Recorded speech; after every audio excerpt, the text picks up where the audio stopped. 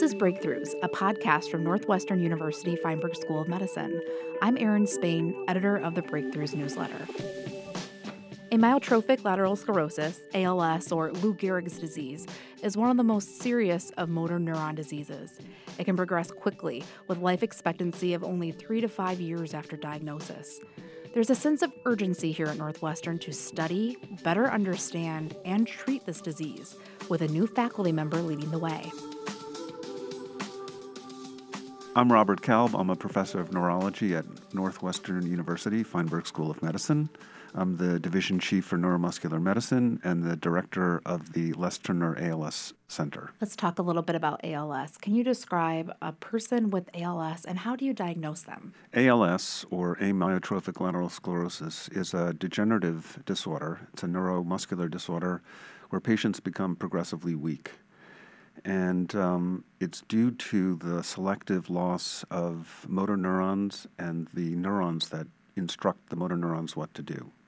So there's an upper motor neuron that's the instructor, and the lower motor neuron that is connected to muscle cells. And both of those nerve cells are vulnerable in this disease and progressively die, leading to progressive weakness. Um, typically, the cause of death is f- due to um, inability to get enough oxygen in because breathing is impaired too. It's part of a family of neurodegenerative diseases, which includes Alzheimer's disease or Parkinson's disease or Huntington's disease. Those are all adult onset nerve cell disorders. What distinguishes them is that the population of nerve cells that die is specific for each of these disorders. Although we are learning that there's a lot of overlap between them. So there are patients that have um, ALS that will sometimes have Parkinsonian features, or people that have a type of dementia called frontotemporal dementia, which looks like Alzheimer's disease, but it's actually not exactly the same.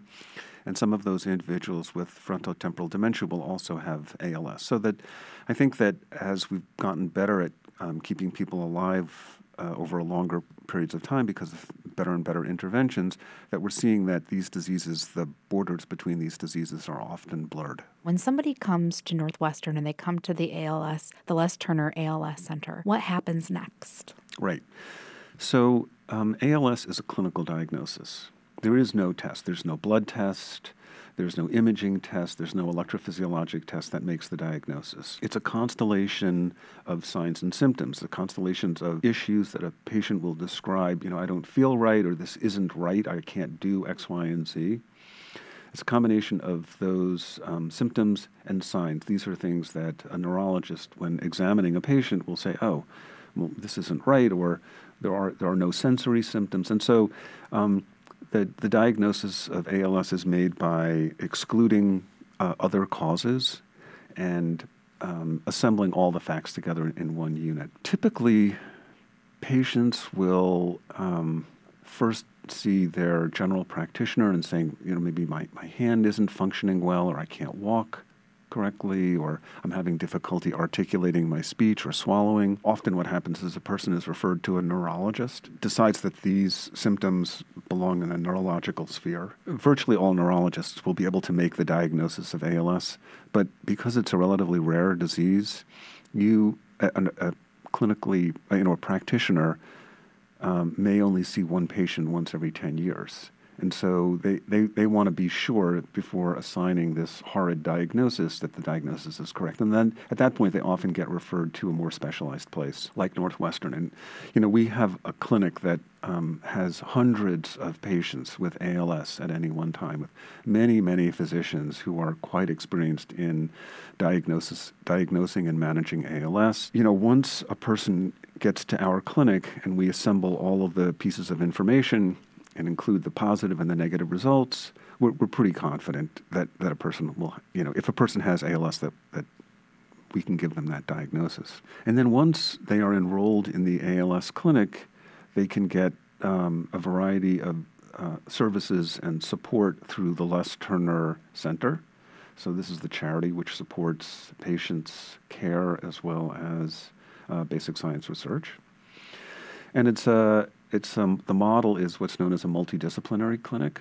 So a patient will see an ALS uh, neurologist, and also maybe a pulmonary doctor, and then a physical therapist, and an occupational therapist, and a speech therapist, and a nutrition, and an individual with uh, specialty in nutrition, because this is important in disease. Devices, communication, social work, um, psych assistance. You know, these are, we integrate all of these um, uh, services to um, make the quality of life the best that we possibly can. And, and I think that um, it's a long day, but it's a very fruitful day for the patients because they get a lot out of it. And then there are home services that are also provided through the Les Turner Center. Visits, you know, does a person need a ramp? Um, can, do, getting up and down the stairs. These are all part of this, this comprehensive multidisciplinary service that we provide. How do you treat someone? What are the current treatments out there that can either prolong life or increase the quality of life? The good news is that we've learned much more about the disease over the past decades. We're very good at anticipating what patients' needs are for um, um, devices to help people move around and to move safely and to uh, make sure that food goes down the right pipe. Um, there are uh, breathing assist devices. I think that they've done um, great things in improving quality of life but I don't think that we have really um, made a fundamental change in the arc of disease. I think that basically, for the majority of individuals who have ALS, it means they have three to five years from the onset of diagnosis until death. And that's why research is so important. Right. So the, the key here is to understand the underlying basic biology that's going wrong in motor neurons and cells that are supporting them and um, intervene and I think that we're in a better place now than we've ever been. I mean, it's an incredibly exciting time for basic science research and also for translating those basic science observations into new therapies. You're very confident that there will be a cure or a very effective treatment for ALS. Maybe there'll be something new as soon as five years, you've said. What makes you so optimistic? I'm quite sure that at some point there will be a pill. You take the pill in the morning once a day, and the disease never progresses. I, I'm I'm confident in that, but whether that's six years from now or 15 years from now, I can't I can't see that into the crystal ball and make that prediction. However, there are other technologies, specifically something called antisense oligonucleotides or ASOs, that I think are going to be fabulously powerful for the treatment of ALS patients. So, in the beginning, what will happen is I, I, am going to predict that antisense oligos will be used to treat patients with familial forms of disease. We know the mutant gene. We design an antisense oligo to target that gene, to reduce the abundance of that gene, and by reducing the abundance of the toxic gene, there should be less toxicity.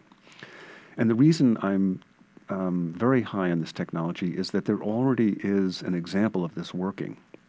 There's a childhood disease called spinal muscular atrophy. It's a childhood motor neuron disease. Um, over the past 20 years, we've identified what the genetic abnormality is in spinal muscular atrophy. We have devised animal models of spinal muscular atrophy.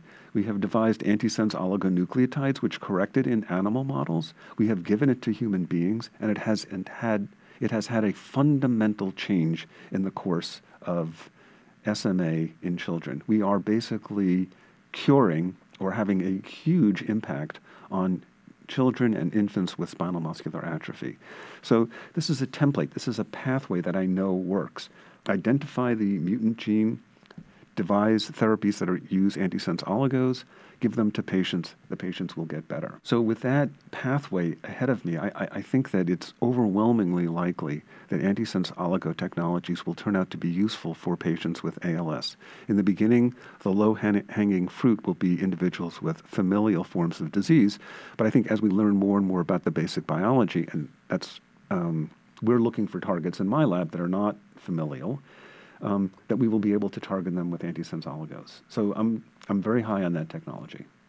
The story kind of gave me goosebumps about where, where are they doing that? I'm just curious now, where are they doing that research with the children? Nancy Kuntz and Vamshi Rao at Lurie have been major players in the SMA world. Uh, this has been happening. So this is an, this is a great story. Yeah. This is really um, an incredible success story, and uh, I think that neurologists, pediatric neurologists, should, are jumping up and down in excitement with this, you know, going from the gene to an effective therapy. This is happening at Lurie Children's. So it's actually happening in many centers, but we so Lurie has been a, a major player in this field. And let me also say that we now have teenagers and young adults with spinal muscular atrophy, which we are treating in our clinic with these antisense oligonucleotides. We have more than 25 um, teenagers and young adults who have the milder form of spinal muscular atrophy, and we are administering antisense oligonucleotides to them. And they tell us that they're feeling stronger. I mean, it's incredible. It's absolutely incredible. So, the pa- I see this as a very reasonable path. Are there going to be bumps along the road? Of course there are. Will other technologies supplant antisense oligos? Probably, maybe. Who knows? I don't. CRISPR-Cas9. Who who knows? But but th- there's a clear pathway here, and that's why I'm I think that we're going to have effective therapies in the relatively near future. Just tell me a little bit about where your research, how far it's come in the past several decades, and where you're at right now. Let's just start by saying that um, most of most individuals who have ALS have a sporadic form of disease, which means that there's no clear genetic um, cause. And about 10 or 15 percent, there's a clear single gene which is mutated that causes the disease, and you can track it through a family. So, all of our models of disease, so you need to, if you're going to study the disease in a, in a, in a mouse or in a rat or in tissue culture or, or any of a variety of other tools, genetically manipulatable organisms, um, you have to create that model by um, manipulating the gene which was defective in the patients with familial disease. So all of our models are based on familial disease. We use basically three different platforms. We use uh, this um, model organism called uh, C. elegans, Caenorhabditis elegans. It's a teeny weeny little um, worm that lives in the soil. By the way, six Nobel Prizes have been awarded for work using C. elegans. So that's, that's a special worm. That's a very special worm. Uh, we also use uh, primary neuron tissue culture models, which uh, nerve cells that are derived from the spinal cords of mice or rats, and we also do some studies with mice too.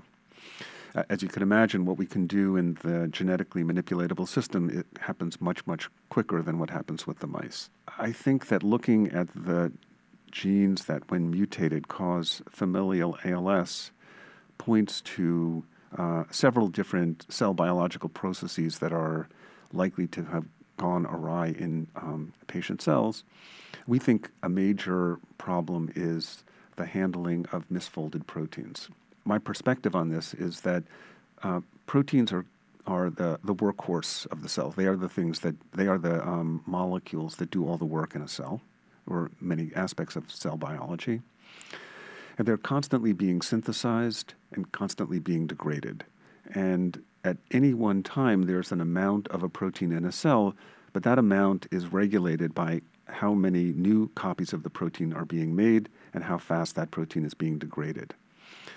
And just like a car wears out over time, a protein or, or a part of a car will wear out over time due to use a protein will uh, accumulate damage or will um, not function as well over time. And so the reason to get rid of proteins, to degrade them, is to keep them fresh, to keep, you know, the batteries completely powered and the cylinders nice and clean. We think that um, a major problem in ALS is the recognition of damaged proteins and disposal of them.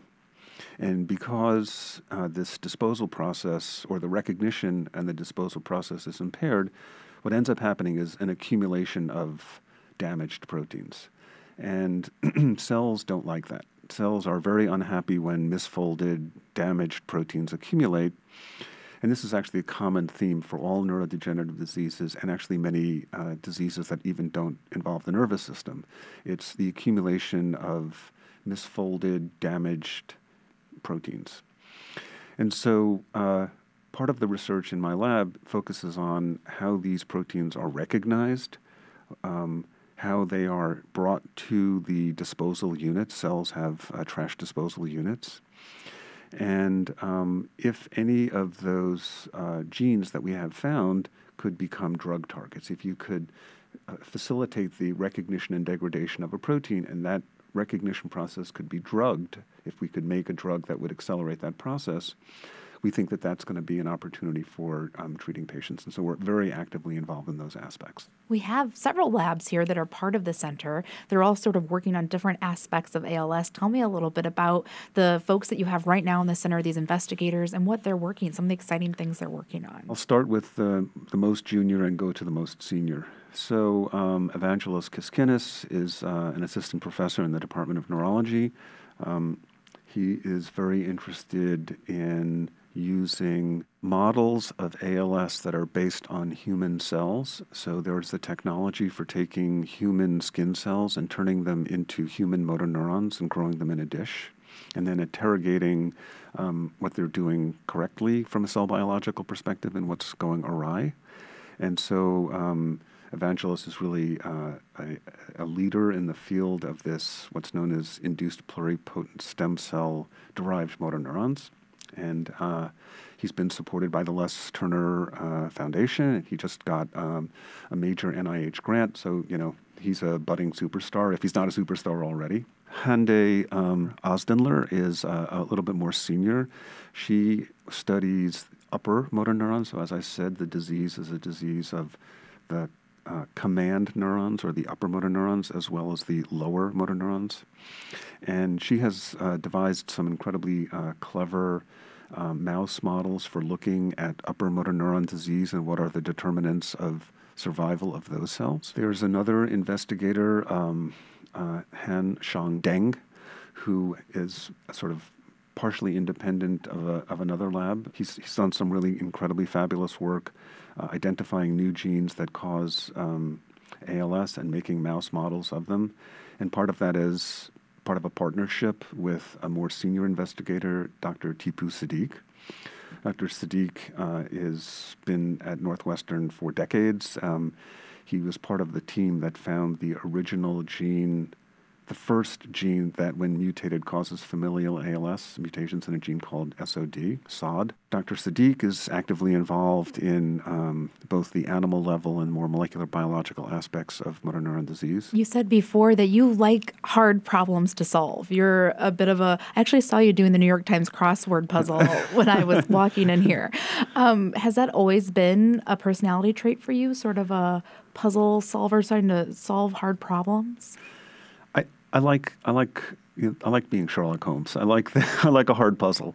Um, I, I, like to get the positive the positive feedback when I put the last word in the crossword puzzle too. And we're not done there with with ALS, but also um, I think you need to. I, I look at this as a marathon. You you need to go long here.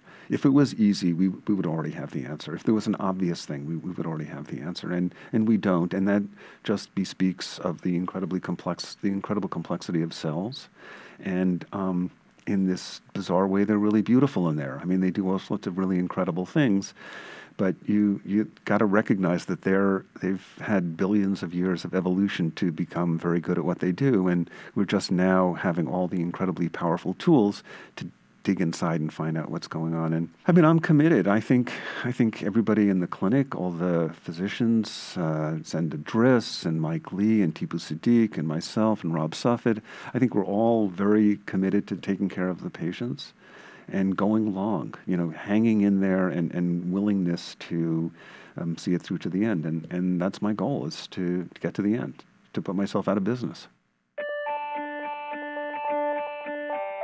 To find out more about Dr. Kalb's research, check out the latest issue of Northwestern Medicine magazine and Breakthroughs. I'm Erin Spain. Thanks for listening.